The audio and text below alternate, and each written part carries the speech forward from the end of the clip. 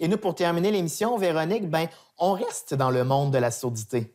Et oui, on poursuit avec Simon Labelle, l'auteur de la BD Ma vie en Lofi, qui illustre bien la réalité d'une personne qui vit avec des acouphènes ou des troubles auditifs. Bonjour Simon.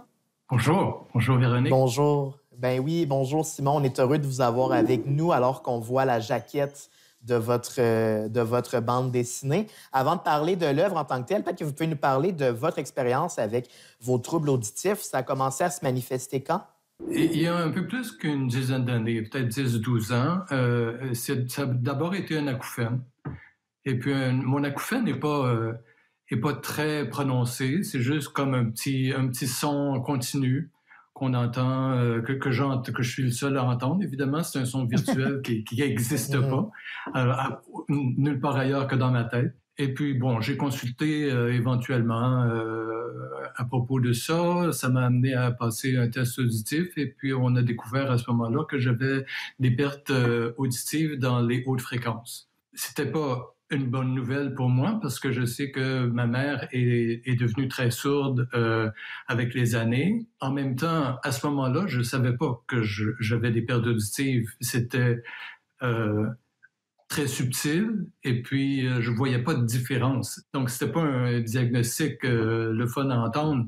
Mm. Mais sachant que ce genre de trouble auditif là peut évoluer à différentes vitesses ou rester stable pendant très longtemps. Bon, ben, sur le coup, euh, c'est simplement euh, une nouvelle qui ne change pas notre vie. Là. Mais avec le temps, euh, après quelques années, j'ai commencé à me rendre compte que je faisais répéter les gens de plus en plus souvent.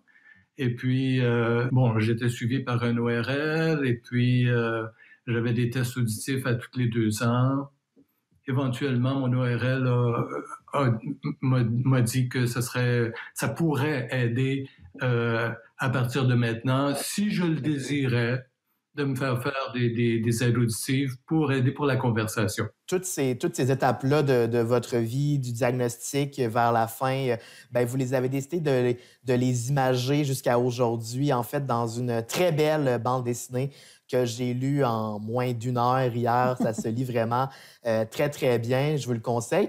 Et d'ailleurs, vous parlez de, des appareils auditifs pour aider. On en voit une ici, une planche à l'écran euh, avec un bateau de pirate prêt à être appareillé. Est-ce que je peux dire ça comme ça?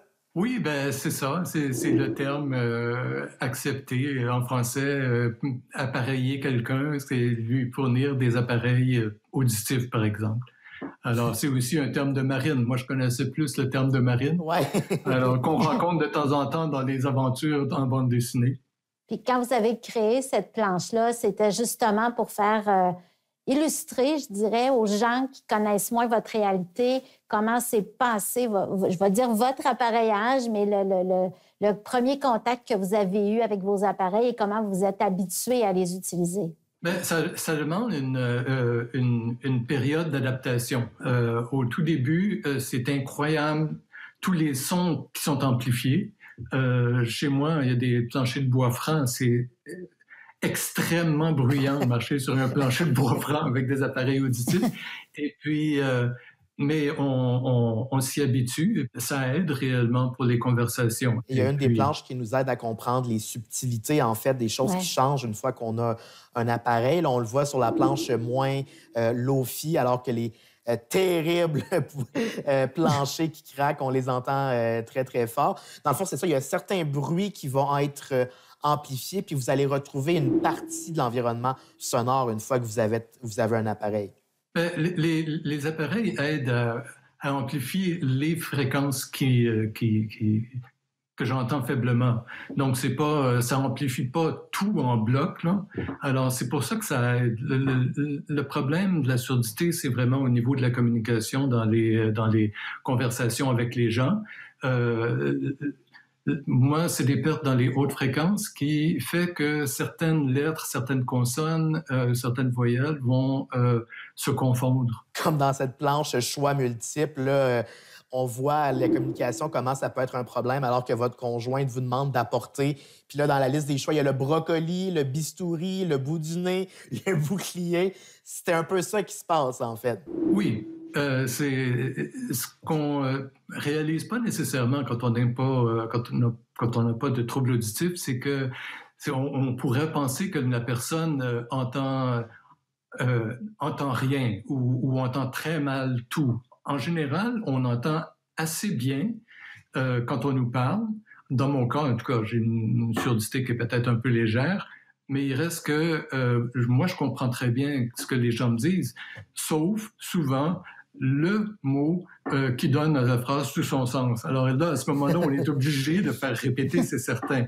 Et puis, ça arrive plus souvent qu'autrement. Alors justement, puis on se retrouve aussi dans une situation où, on où, il y a un mot qui est très confus, mais là, on essaye de le retrouver par le contexte.